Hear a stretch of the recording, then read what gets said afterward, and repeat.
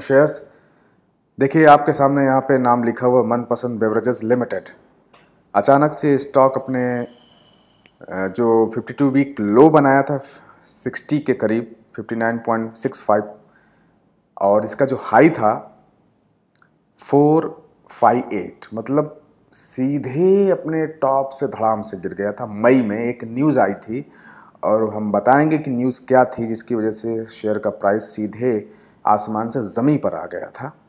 अब देखिए, आज 12 मार्च है, एक बज के चार मिनट हैं और आज का भाव एक सौ सत्तर रुपये पैंतीस पैसे चल रहा है बीएससी पे।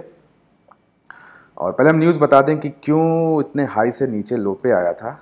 अगर याद हो तो मई का मंथ था और यहाँ पर देखिए, Mumbai Deloitte Haskins and Sells India has quit as the auditor to Manpasand और डेलोइट थे इनके चार्टर्ड अकाउंटेंट्स उन्होंने कंपनी को जो है त्यागपत्र दे दिया था, ये कहते हुए beverages a few days before the declaration of annual results annual results declare करने से पहले ही कि triggering a sharp fall in the share price and deepening in the mystery about the sudden departure people close to the situation से that Deloitte's move was triggered by the lack of cooperation जो उनका आरोप था कि company के जो promoters हैं वो प्रॉपर जो है कॉपरेशन नहीं कर रहे हैं।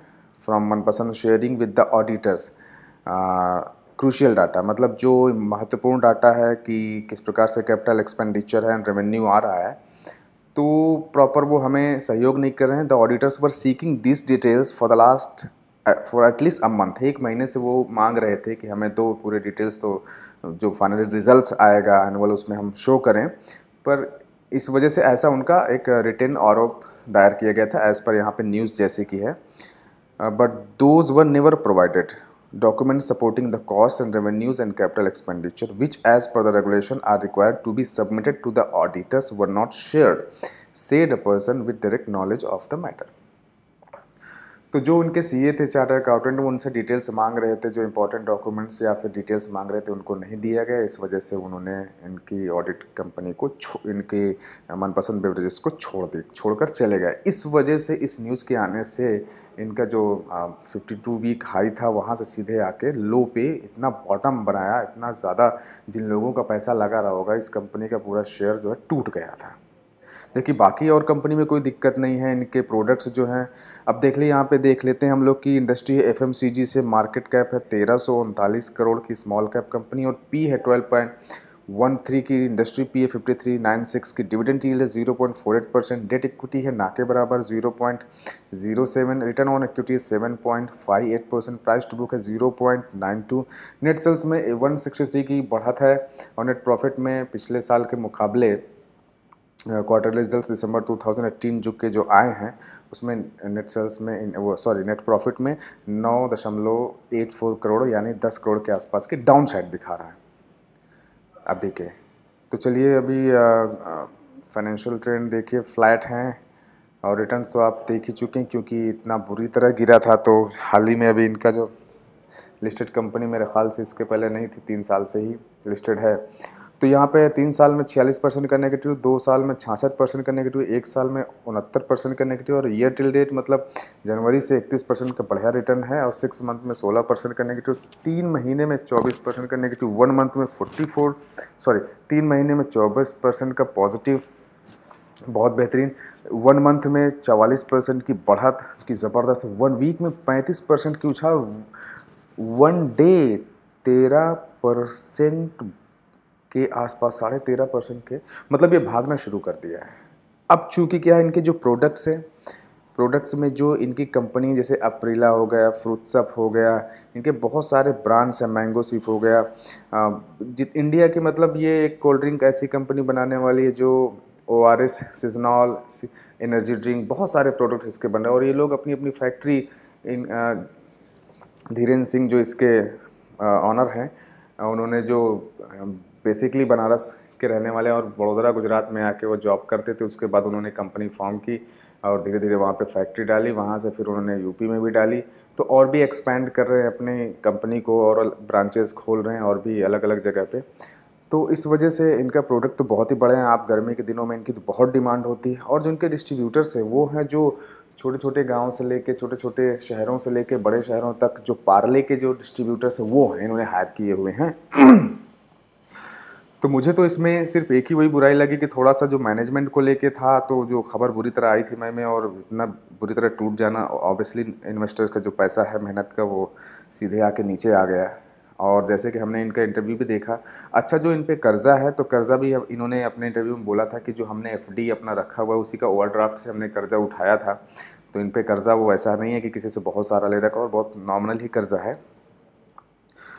तो चलिए आगे बढ़ते हैं।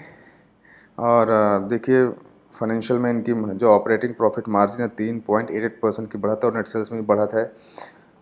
और कर्जा भी देख लेते हैं कि कितना है। देखिए बोरोविंग है थोड़ा सा बढ़ा हुआ है क्योंकि अपना ये फैक्ट्री सेटअप कर रहे हैं एक्सपैंड कर रहे हैं।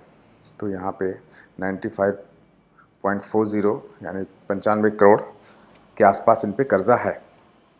जो कि इनका कहना है कि हमने एफटी से ओवरड्राफ्ट किया हुआ। एनीवेज़ शेयर होल्डिंग पैटर्न में देखिए कि प्रमोटर्स की होल्डिंग यहाँ पे जो सितंबर 18 में चवालीस पॉइंट टू एट परसेंट थी और अब हो गई चवालीस पॉइंट थ्री थ्री मतलब इन्होंने zero point zero five percent increase की है, जो कि बहुत ही अच्छी बात है। प्रमोटर्स अपनी होल्डिंग जो इंक्रीज़ कर रहे हैं, यहाँ पे एक भी शेयर इनका गिरवी नहीं है।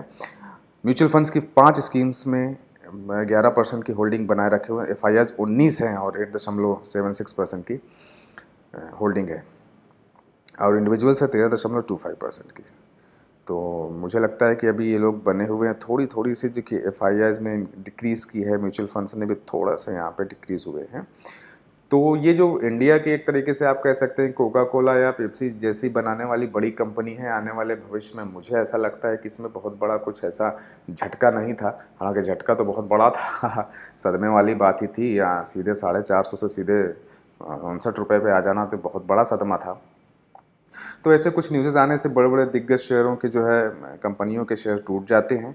लेकिन हम अगर लॉन्ग टर्म पर्पज़ से देखें और कंपनी का जो मैनेजमेंट है, जो फंडामेंटल जो हमने इंटरव्यू सुने, उनकी जो सफ़ाई दी उन्होंने, और तो उसमें ऐसा कुछ मुझे लगा नहीं ख़ास एक न्यूज़ की वजह से। कई न्यूज़ ऐसे आ जाती हैं, अब हम ला लीजिए किसी प्रोडक्ट पे, किसी कंपनी पे शेयर प्राइस पे हम बुलिश हैं, और अचानक से वॉर ही हो गया, या कोई ऐसी फाइनेंस मिनिस्टर साहब ने कुछ बोल दी तो बहुत मार्केट पे इफ़ेक्ट पड़ता है। लेकिन ये इफ़ेक्ट तो कुछ ज़्यादा ही, क्योंकि अगर उनके सीए छोड़ के गए हैं तो ज़रूर कुछ ना कुछ रहा होगा, या अंदर की बात है क्या जाने, कुछ प्रॉपर हमें न्यूज़ पे भी नहीं मिल पाया। लेकिन जिस हिसाब से उन्होंने आरोप लगा के छोड़ के चले गए, उससे ये बुरी नज़र, बुरी न्यूज़ सॉरी बुरी न्यूज़ की वजह से इनके शेयर का प्राइस धड़ाम से नीचे गिर गया था। तो ऐसे में अब क्या करें? ऐसे में मेरा ऐसा मानना है, देखिए दोस्तों, अब मैं आपसे जनरली डिस्कशन कर रहा हूँ, मैं कोई रिकमेंडेशन से या इस पर ख़रीदने की बात नहीं कर रहा हूँ, क्योंकि जो इतने ऊपर से नीचे इतना आ गया, लेकिन जो जिस हिसाब से इनके प्रोडक्ट्स हैं एफएमसीजी की जो कंपनी है प्रोमोटर्स की होल्डिंग अच्छी है, और इनके प्रोडक्ट्स बहुत अच्छे हैं, सनी देवल इनके ब्रांड एम्बेसडर हैं, और तापसी पन्नू इनके ब्रांड एम्बेसडर टी वी पे एड्स आते हैं गर्मी में तो इनका माल दबा के बिकता है मतलब हर आदमी इनके fruit juice energy drinks food sip सब पीता है। डिस्ट्रीब्यूटर इनके बहुत अच्छे तो आने वाले समय जिस प्रकार से इनका कंपनी का एक्सपैंड कर रहे हैं, आने वाले पूरे भारत में मार्केट में अपना कब्ज़ा करने वाले हैं कोल्ड ड्रिंक्स में तो नो डाउट दुखी हमारे देश की कंपनी देसी कंपनी है और काफ़ी अच्छे अच्छे प्रोडक्ट्स हैं। तो मैं थोड़ा सा इसमें भविष्य को लेके कि जैसे कि चार पाँच साल, दस साल, क्या पता, देखिए मैनेजमेंट थोड़े दिन के लिए कभी कभी चीज़ें गड़बड़ हो जाती हैं और सॉल्व हो जाती हैं। है ना? अगर बहुत मेजर प्रॉब्लम नहीं कि कंपनी बहुत कर्जे में है और, और डूबी जा रही है इंटरेस्ट नहीं पे कर पा रही वैसी कोई बात नहीं है। प्रोडक्ट्स प्रोडक्ट्स भी इनके बहुत अच्छे हैं। ऐसा भी नहीं कि प्रोडक्ट्स ख़राब बनाती। नेट सेल्स में ग्रोथ है है ना? तो ऐसा जो हम लोग विचार करते हैं एनालिसिस करते हैं कि क्या करना चाहिए मुझे लगता है कि अगर कोई सोना कंपनी कोई हीरा कोई कोई स्टार्स कोई सितारा आसमान से टूट टूट के ज़मीन पे गिर गया है, किसी कारणवश। तो अगर हमारे पास थोड़े से पैसे हैं, पूरे, पूरा पैसा नहीं है, अगर मान लीजिए हमको दस लाख लगाना है तो क्यों ना हम एक लाख रुपए की प्रोडक्ट खरीद के रख लें? जब इतना बॉटम पे आ चुकी अब चूँकि इनकी नेट सेल्स भी बढ़ रही है और प्रोडक्ट बहुत अच्छा है तो मुझे ऐसा लगता है कि आने वाले समय में जब कंपनियाँ इनकी सारी फैक्ट्रीज़ काम करना प्रोडक्ट्स की डिमांड ज़्यादा बढ़ जाएगी तो नेट सेल्स बढ़ेगी प्रॉफिट बढ़ेगा शेयर प्राइस बढ़ेगी। अब जो इसका करेक्शन था, जो इसका, इसकी नेगेटिव खबरें थी धीरे धीरे समाप्त हो गई हैं, अब ये आगे की ओर बढ़ रहा है। तो लॉन्ग टर्म के पर्पज से देखिए, आप अपने एक्सपर्ट से भी सलाह लें कि क्या करना चाहिए ऐसे सिचुएशन में, कौन से मल्टी वैगर हो सकते हैं। अगर ये आपको सेक्टर पसंद है एफएमसीजी का खाने पीने का है ना ड्रिंक का, जो बच्चे बच्चे पीते हैं तो आप कुछ स्टॉक्स खरीद के रख सकते हैं। ये मेरा ऐसा मानना है। बाकी जैसी आपकी मर्ज़ी। और मैंने तो थोड़े से लिए भाई। मैंने भी थोड़े से ख़रीद के रख लिए कि चलो ठीक है, जब ये टूट चुकी थी मैंने उस समय पे नहीं लिया था। लेकिन मेरी सिंपैथी उन लोगों के साथ जिन्होंने 400 या के आसपास लिया होगा। तो मुझे लगता है कि अगर उनके शेयर्स अभी भी पड़े हैं क्वांटिटी एज इट इज़ है अगर उनका लॉन्ग टर्म पर्पज़ रहा है तो थोड़ा सा होल्ड करें, क्योंकि बेचना भी ठीक नहीं है। अगर एवरेज करना चाहें, अभी और बाइंग कर सकते हैं तो एवरेज कर लें। तो ऐसा कर सकते हैं। दोस्तों, मुझे लगता है कि आप लोगों को वीडियो ज़रूर पसंद आया होगा। ऐसे ही आप हमारे वीडियोस देखते रहें। और अगर आपने हमारा चैनल सब्सक्राइब नहीं किया तो ज़रूर कर लीजिए। Thank you very much